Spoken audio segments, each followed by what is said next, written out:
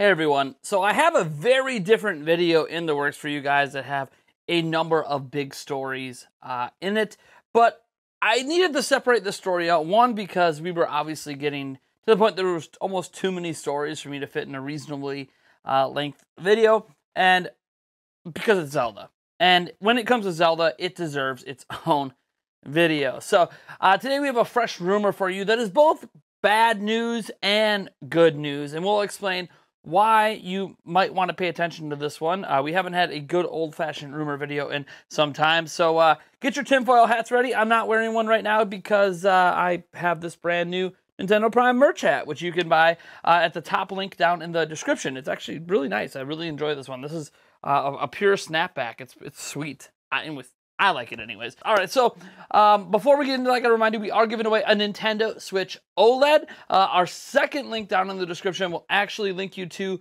a live stream uh, that you need to go set reminders for, so you can be there uh, to see who wins the Switch OLED. However, to win, you need to be subscribed. So why not subscribe to the channel right now? Because bare minimum, all giveaways we do only go out to people who are subscribed. All right, that being said, let's get into this sad yet also potentially good news.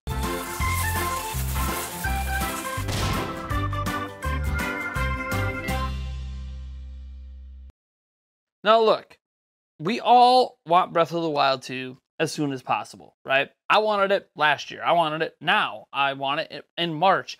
And a lot of us think it's probably a, a game that they are targeting for late 2022 for the holidays. Uh, but we don't really know anything about when this game is coming. Last we heard was at E3 where Aonuma came out and said, you know, it, it had the 2022 um, date come up, and then he said, "Hey, we're targeting, we're aiming. Our goal is to have it come out next year," which sort of set the stage to be like, "Yeah, but this game could be delayed." And we've heard rumors and leaks and reports out there that Breath of the Wild 2 actually suffered the most in Nintendo's development pipeline due to COVID.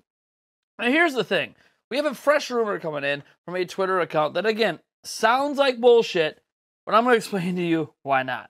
Because um, any of these Twitter accounts could be bullshit. But this one, uh, like some a, a few other uh, leakers out there, actually has a positive track record. So uh, this this uh, accounting of what's about to happen comes from the Twitter account Hot Girl Videos 69. And I know, I know, I told you guys we've actually reported on this person before, and the reports were correct. And I told you guys if this account that felt like a troll account uh, was, you know, just doing that, just trolling people, uh, we would take the Nintendo Prime sword here and schwack, schwack, schwack, schwack, end that hope right now. But the problem is, Hot Girl 69 actually nailed everything, single thing they said for an entire three month period. So we can't just ignore information, even if it comes from an adult place. So, here's what they said. Get ready for this. Um, they, they put out a tweet a few days ago that I ignored because it sounded like speculation. They said, in regards to a possible Nintendo delays, I will just say there's a very real chance that you will play an interim released Zelda game before you play Breath of the Wild 2. That was it. That was the end of that. But then today, they quote tweeted themselves and gave an update that broke my heart. In the days since we posted this, our sources have all messaged us that a delay is imminent. Now, this is interesting, of course, that a delay is imminent for Breath of the Wild 2, considering that we haven't even gotten to 2022. But if you do remember, back with the original Breath of the Wild that they unveiled in 2014. We didn't know it was called Breath of the Wild at the time. They said it would come out in 2015, and in the very beginning of 2015, they announced a delay, an infinite delay, with no idea when we would see the game next. Obviously, we now know it ended up being a launch for the Nintendo Switch in 2017, two years after they said the game would come out. So expecting a delay for Zelda games is pretty normal. I was always in the back of my mind being very tepid about this, saying a delay is possible, a delay might even be considered likely. But there is a silver lining. Remember before they mentioned you could play an interim released Zelda game. Well, we have old rumors from Jeff Grubb and others that if Breath of the Wild 2 did get delayed, Nintendo was holding on to the Wind Waker HD and Twilight Princess HD. You guys see the Wind Waker HD behind me, in fact. So there is a high possibility that Nintendo already had a backup plan in place in case this happened. Now, look, these games wouldn't be part of the you know Zelda 35th anniversary.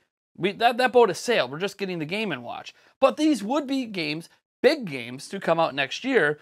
Uh, and it does feel weird to have back-to-back years of Skyward Sword HD and then this. But you have to remember that for Nintendo, they want to make sure a game is done right. So I'm okay if Breath of the Wild 2 is delayed, so long as it's delayed for the right reasons. Now, if it's delayed and ends up launching on the next platform, that to me doesn't feel like the right reason. I think the delay is obviously because the game isn't where they wanted it to be. Remember, AGN almost said that they were targeting 2022. They hope to get it out next year. That didn't sound very confident. I know Bill Trinen came out and said some things that made it look like Nintendo was extremely confident in this game landing uh, next year, but that's Bill Trinen. He's not actually part of the team making it. AG gave us reason to potentially doubt it would come out next year, and the history of Zelda games getting delayed also give us reason for that. So I don't know. This is just my take on this. Um, obviously, we have a source here linked down in the description. You can go verify their track record for yourselves if you would like. I've already done so. Uh, that's why we're talking about it. But it's still just a rumor. Again, nothing's been officially announced. There's been no official delay and no official announcement of this game. Or hold up, hold up. I got another one for you guys might, might, might like. Let me, let me just drag it over here. Oh, what's this? What's this? Oh, oh, right. Oh. Forgot about this game, right? Twilight Princess HD. Isn't it kind of cool? Twilight Princess HD. Forget about this one. Yeah, Twilight Princess HD would be pretty baller. Uh, Twilight Princess HD, by the way, Twilight Princess in general is the best-selling Zelda game until Breath of the Wild came out. So Nintendo could still recover and end up doing just fine. Skyward Sword HD, from what we can tell, has sold very, very well. This game or the Wind Waker HD would likely sell very, very well, maybe even better than Skyward Sword HD. Still, we'd be remiss if it wouldn't be able to say it's kind of sad to think Breath of the Wild 2 might be delayed outside of 2022. Again, though, nothing's officially announced. This is just a rumor. But let's hold on to our butt cheeks and if it does happen, at least know we're getting something Zelda next year.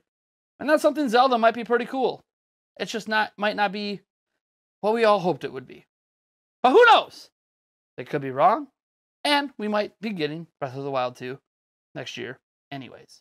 So, you guys let me know what you think about this down in the comments below. Are you expecting a Breath of the Wild 2 delay announced soon, if not next year? Um, are you expecting to actually play this game next year? And if it was delayed, is it all right if they just kind of slot in the Wind Waker HD or Twilight Princess HD to kind of fill the void that Breath of the Wild 2 might have left. Assuming that you call it a void, they already have a pretty packed 2022 and we're not even there yet.